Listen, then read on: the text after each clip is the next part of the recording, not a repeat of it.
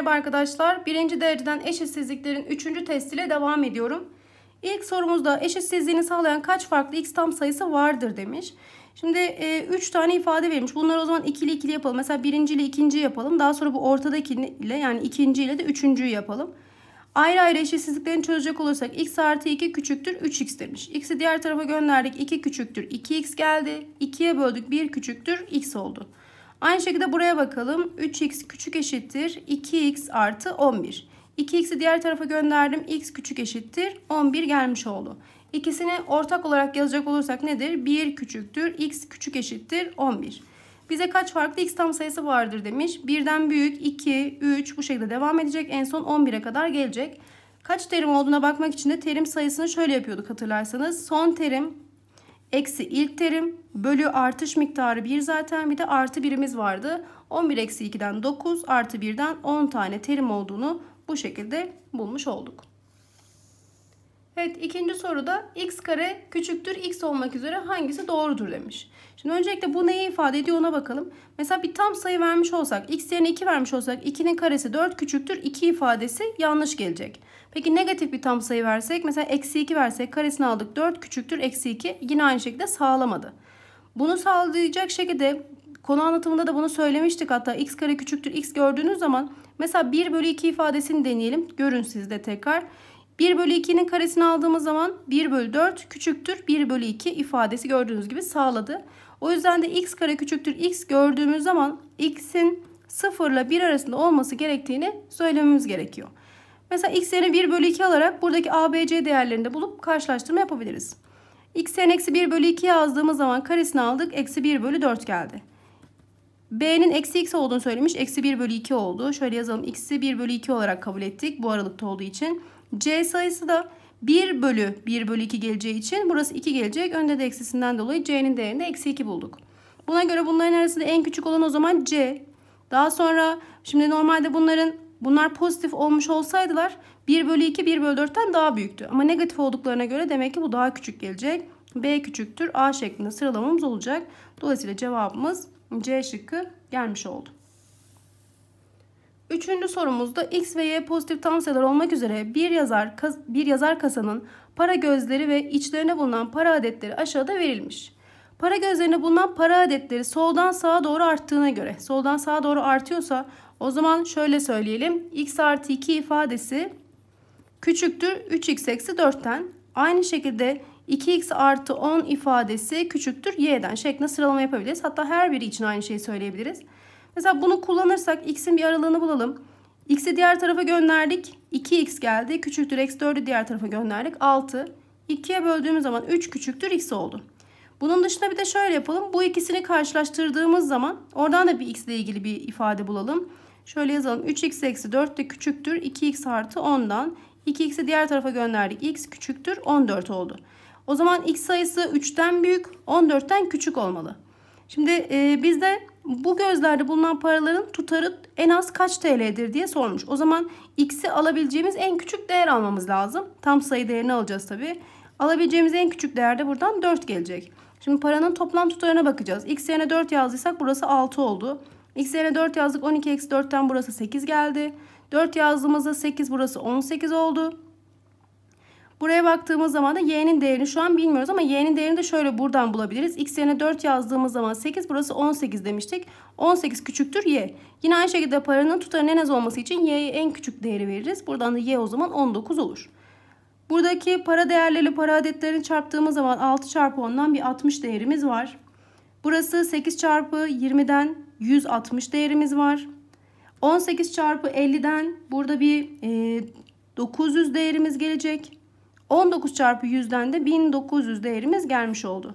Bunları topladığımız zaman 160 burası e, 220 gelecek. 900'de de topladığımız zaman 1120 geldi. Bir de 1900 değerimiz var. Topladığımız zaman pardon burası 2 gelecek. Burası 10 3020 değeri gelmiş olacak.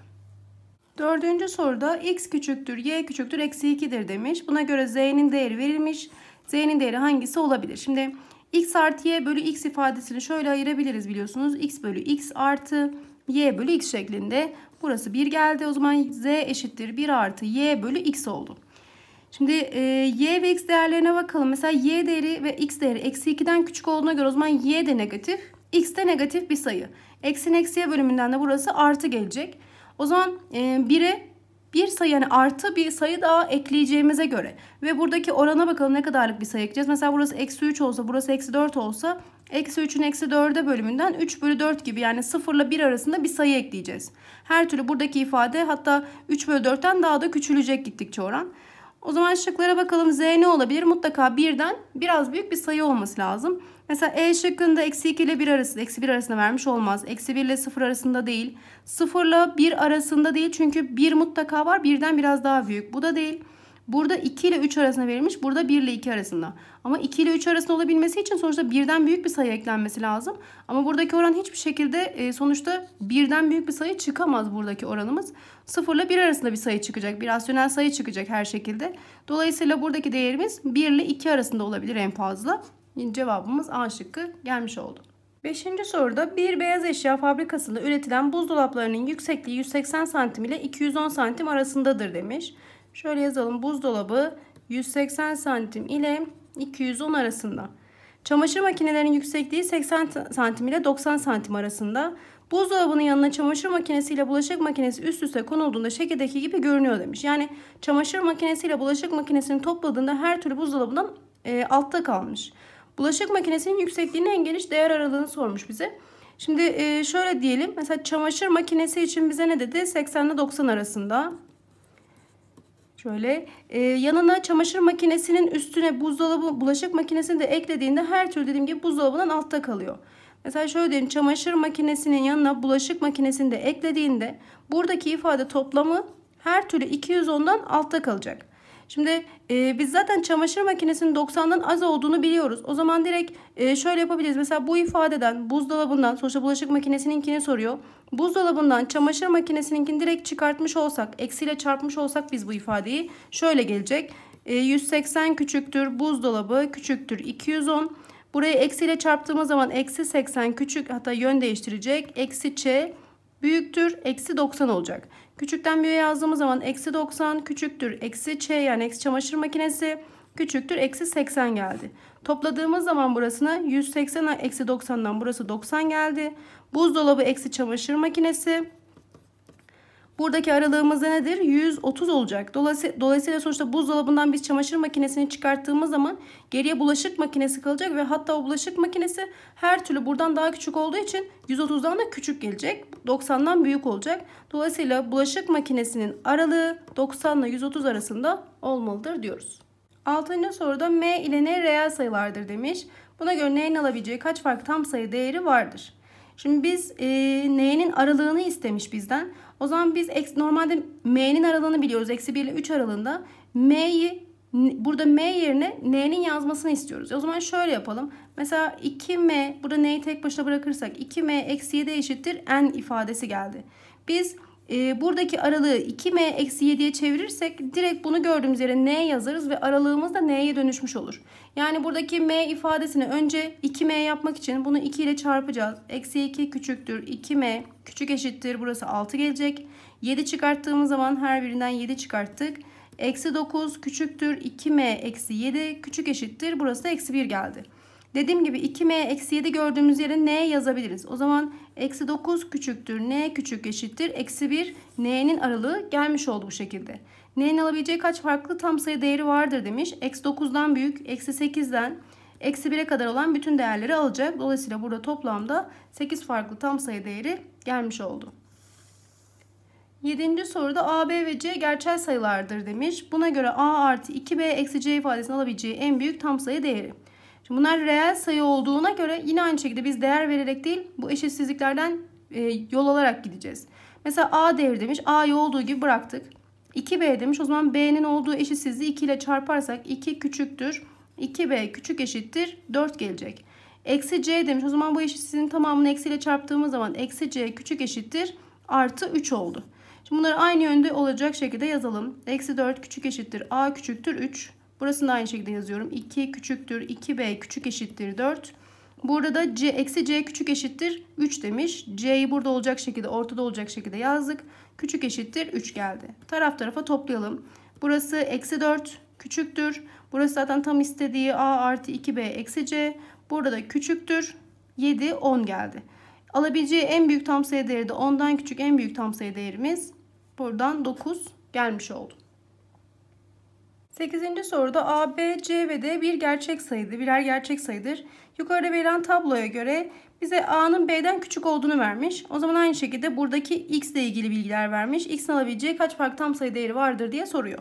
Şimdi A, B'den küçükse o zaman burası aynı şekilde 4 küçüktür. X eksi 3 dedik. Dolayısıyla X'i burada tek başına bırakırsak 7 küçüktür. X olacak. Daha sonra D'nin A artı 1'e eşit olduğunu söylemiş. Yani buradaki boşluğun A'dan bir fazla olduğunu söylediyse o zaman burası 5 geldi. A çarpı C'den bahsetmiş. A ile C'yi çarptığımız zaman 4x artı 4. Bu büyüktür B ile D'nin çarpımına. Yani 5x eksi 15'e. 4x'i karşı tarafa aldığımız zaman x geldi büyüktür. Eksi 15 diğer tarafa aldık. 19 geldi. O zaman x sayısı da 19'dan küçük sayılar. O zaman x'in aralığı çıkmış oldu. x 7'den büyük. 7 küçüktür x küçüktür 19 aralığında geldi. Bu aralıkta 8'den 18'e kadar olan değerleri alacak. Yine aynı şekilde terim sayısından gidelim. Son terim eksi ilk terim artış miktarı her bir burada birer birer arttığı için 1 artı 1 diyoruz. Buradan da 11 tane tam sayı değeri gelmiş oldu.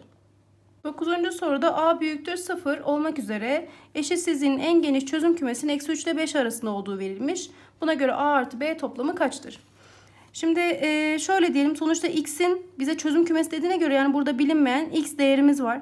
X'in eksi 3 ile 5 arasında kalması gerekiyor. Biz x'i tek başına bırakmak için önce b'den kurtuluruz. Her yere b çıkartırız öncelikle. Mesela eksi 7 eksi b deriz. Küçüktür ax küçüktür 9 eksi b olur. Sonra x'i tek başına bırakmak için kat sayısından kurtulmak için her yeri a'ya böleriz. Buradaki a'lar gider. X'in aralığı da eksi 7 eksi b bölü a ile 9 eksi b bölü a'ya eşit olur. Yani bu aralıkta olacak. Ve bize bunların da eksi 3 ile sonuçta x burada tek başına kaldı. Eksi 3 ile 5 olduğunu söylemiş. O zaman şöyle yazalım. Eksi 7 eksi b bölü a eksi 3'e eşit. 9 eksi b bölü a da 5'e eşit. Burada içler dışlar çarpımı yaparsak eksi 7 eksi b eşittir eksi 3a gelecek. 9 eksi b de burada 5a'ya eşit oldu. Şimdi bunların hepsini e, biz taraf tarafa da toplayabiliriz. Mesela B'yi hatta karşı tarafa da atabiliriz. B'yi tek başına bırakmak istersek. Buradaki ifadede e, B'yi tek başına bırakırsak eksi 7 artı 3A gelecek. Burada B'yi tek başına bırakırsak 9 eksi 5A olacak. Dolayısıyla B değerlerini direkt eşitleyebiliriz. Amacımız A ve B değerlerini bulmak. Eksi 7 artı 3A eşittir 9 eksi 5A. 5A diğer tarafa aldık. 8A geldi. 16'ya eşit. Buradan da A değerimiz 2 oldu. A'yı herhangi birinde yazalım. Buraya yazdığımız zaman mesela 10, eksi 10 geldi. Eksi 10 artı 9'dan da B değerini eksi 1 olarak bulmuş olduk. Bizden A ile B'nin toplamını istediği için 2'ye eksi 1'den cevabımız 1 geldi. 10. soruda analitik düzlemde eşitsizlik sistemini sağlayan noktalar kümesi hangisine doğru olarak gösterilmiştir demiş.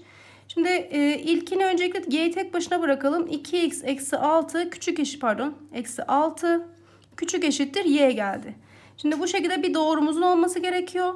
Ve aynı zamanda x eksi 3 büyüktür 0. O da nedir? x büyüktür 3. Şimdi normalde şöyle bulalım. Bunun için x eşittir 3 doğrusunu bulalım. Daha sonra büyüktür kısmında buluruz. x eşittir 3 doğrusu her bir şıkta verilmiş. Ama şöyle bir durum var. Mesela büyüktür dediği için şimdi x, eksi, x eşittir 3 değil. Normalde x büyüktür 3'ü istiyor bizden. E, bunda dahillik olmadığına göre her türlü buradakiler gibi kesikli çizgi olması lazım. Mesela D şıkkında x eşittir 3 doğrusu normalde x eşittir 3 doğrusu bu. Ama bu şekilde dahil olmadığı için düz çizgi çizemez. Kesikli çizmesi gerekiyor. D şıkkı olmaz. Diğer şıkların hepsi olabilir. X'in 3'ten büyük olması için ise e, bu sefer x eşittir 3 doğrusunun sağ tarafını taraması gerekiyor. Eğer küçük olsaydı sol tarafını tarardı. Mesela x eşittir 3'ün sağ tarafı taranmış. x eşittir 3'ün burada sol tarafı taranmış.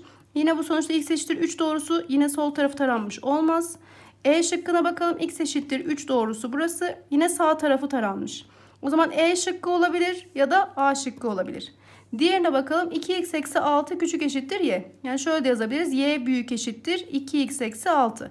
Şimdi buradaki doğrulara baktığımız zaman mesela A ve E şıkkını karşılaştırdığımız zaman ikisi de aynı yerden geçiyor. İkisi de 3 noktasından geçmiş. Y'de de eksi 6'dan geçmiş. Bu görüntü yani bu noktalarda sıkıntı yok. İkisi de doğru noktalardan geçiyor.